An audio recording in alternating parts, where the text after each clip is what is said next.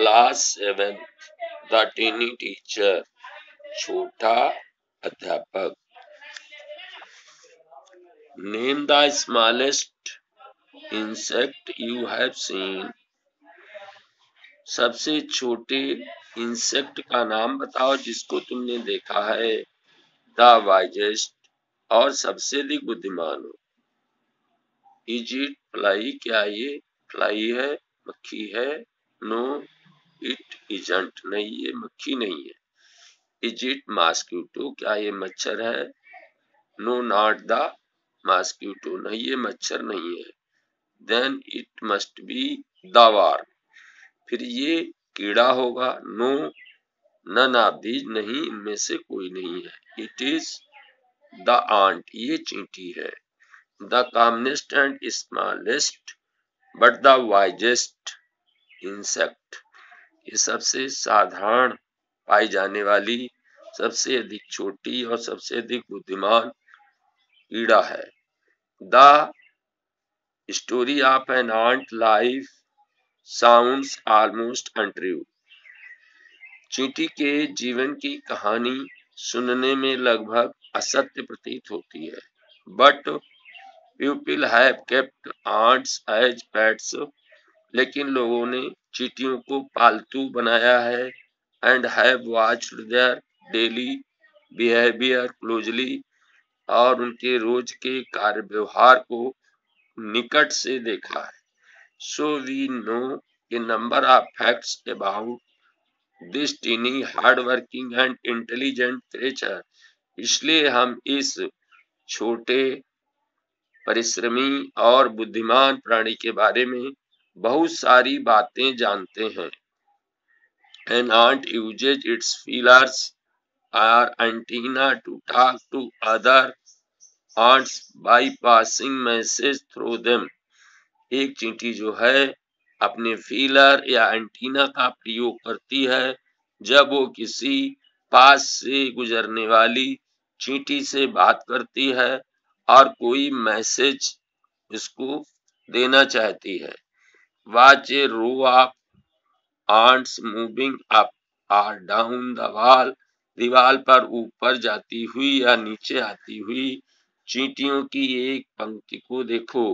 Each ant greets all the others coming from the opposite direction by touching their feeler हर चींटी जो है, opposite दिशा से आने वाली प्रत्येक चींटी का उसके फीलर छू करके स्वागत करती है।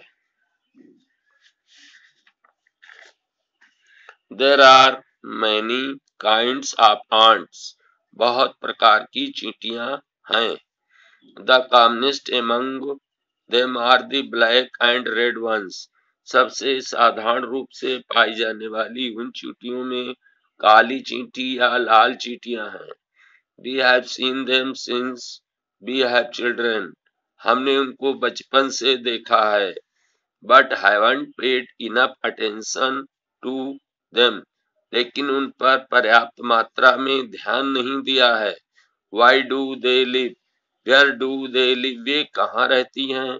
In their comfortable homes called nests or anthills उनके आरामदायक घरों को नेस्ट या आंटिल कहते हैं।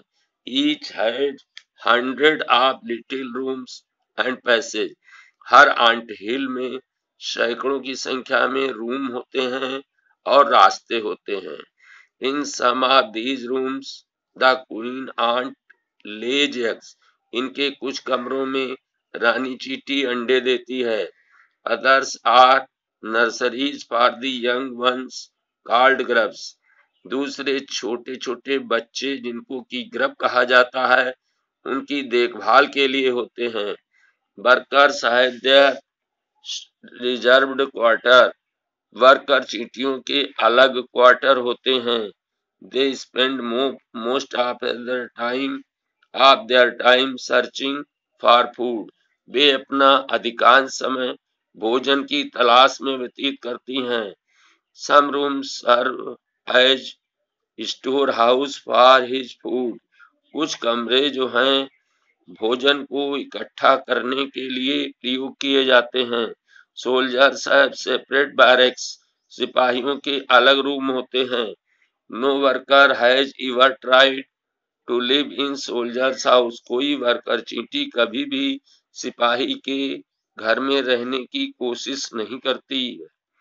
No soldier has ever gone out searching for food, कोई सिपाही चींटी कभी भी भोजन की तलाश में नहीं जाती है। No worker or soldier or cleaner has ever harmed a grub कोई भी काम करने वाली चींटी, सिपाही चींटी या सफ़ाई वाली चींटी ने कभी भी बच्चे को, चींटी के बच्चे को नुकसान नहीं किया। सो यू सी इस प्रकार तुमने देखा and ants life is very peaceful एक चींटी का जीवन बहुत शांतिप्रिय होता है। It does it share work intelligently and bravely हर चींटी अपना हिस्से का काम बुद्धिमानी से और बड़ी बहादुरी से करती है। And never fights with other member of the group और अपनी ग्रुप के मेंबरों से कभी झगड़ा नहीं करती है। The queen is the mother of the entire population of the colony रानी चींटी जो है, पूरी जनसंख्या की माँ होती है। It lives for about fifteen years इसका जीवन लगभग पंद्रह वर्ष का होता है। It has a pair of wings इसके एक जोड़ी पंख होते हैं। But bites them off after is wedding flight लेकिन अपनी बेडिंग उड़ान के बाद वह इन्हें काट कर गिरा देती है।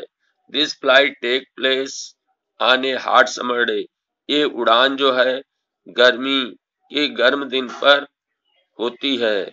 The queen leaves the nest रानी चीटी अपना नेस्ट छोड़ देती है and goes out to meet a male ant और एक मेल आंट से मिलने के लिए बाहर उड़ती है।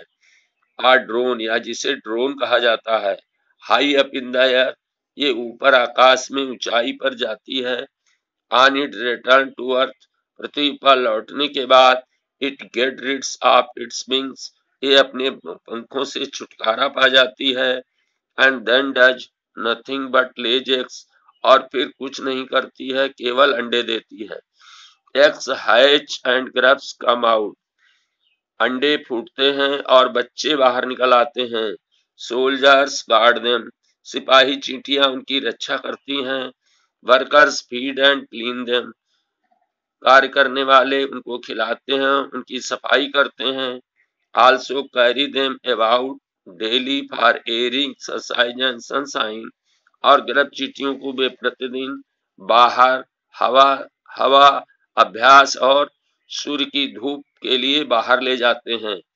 Two or three weeks later दो या तीन सप्ताह के बाद ग्रब्स बिकम कोकून ग्रब चींटी जो है कोकून बन जाती है एंड लाई विदाउट फ़ूड और activity for three week more और तीन सप्ताह और बिना कुछ खाए और बिना हिले डुले पड़ी रहती है। देन द कोकून ब्रेक्स फिर कोकून फूटता है एंड परफेक्ट आंट्स अपियर और पूर्ण चींटी निकलती है। Now it is time for teaching and training अब ये समय है जब उन्हें पढ़ाना भी है और ट्रेनिंग भी देना है। New ants learn their duties from the old ant as workers soldiers builders cleaners etc नई चीटियाँ जो हैं, अपना कार्य पुरानी चीटियों से वर्कर के रूप में, सिपाही के रूप में या बुल्डर बनाने वाले के रूप में या सफ़ाई कर्मी के रूप में सीखती हैं। After a few week training the small ants are ready to go out into the big world of work. कुछ सप्ताहों की ट्रेनिंग के बाद छोटी चींटियाँ जो हैं, वो बाहर बड़े संसार में कार्य करने के लिए, जाने के लिए तैयार हो जाती हैं। An ant hill ant hill is a home not only for ants एक आंट हिल केवल चीटियों को रहने का घर नहीं है but also for some other creature beetle lesser breed of ant and green fly लेकिन कुछ और दूसरे प्राणी भी इसमें रहते हैं जैसे beetle lesser breed of ant or green fly. Why do ant want want these alien creatures to live in their nest? ये जो चींटियाँ हैं, इन विदेशी प्राणियों को अपने घोंसलों में रहने की इजाज़त क्यों देती हैं? फॉर सेवरल रीजन इसके बहुत से कारण है। Some give off smell pleasant उसमें अच्छी खुशबू आती है। टू दी आर्ट सेंसेस जिसको चींटियाँ पसंद करती हैं। अदर्स गिव स्वीट जूस दूसरी मीठा मीठा रस देती हैं। Some are just pet or plaything कुछ चींटियाँ केवल खेलने के लिए या पालतू के लिए होती हैं like cats and dogs to human being जैसे मानव प्राणी बिल्ली या कुत्ते पालता है। The green fly is the ants cow green fly जो है, चींटियों की गाय गाय है। The ants train it to give honey dew like milk with a touch of their antenna चींटियाँ इसके एंटीना को छू करके इससे हनी ड्यू प्राप्त करती हैं। They milk it just as we milk the cow. वे इसको ऐसे ही दूहती हैं जैसे हम गाय दूहते हैं। Have human learn as much as ants है। क्या मानव ने उतना सीख पाया है जितना चीटियों ने सीखा है? परहैप्स दे हैव शायद उन्होंने भी सीखा है। But they haven't put their learning to good use लेकिन उन्होंने अपने ज्ञान को अच्छे कार्यों में प्रयोग करना नहीं सीखा है। They may still learn a few things from this tiny teacher उन्हें अभी भी इस छोटे अध्यापक से कुछ बातें सीखनी है। हार्ड वर्क कठिन परिश्रम सेंस ऑफ़ ड्यूटी कर्तव्य का ज्ञान, अनुशासन डिसिप्लिन सफ़ाई cleanliness care for the young one छोटे बच्चों की देखभाल एंड सबसे ऊपर a firm loyalty to the land live और जहाँ वे रहते हैं उस देश के प्रति सच्ची भक्ति।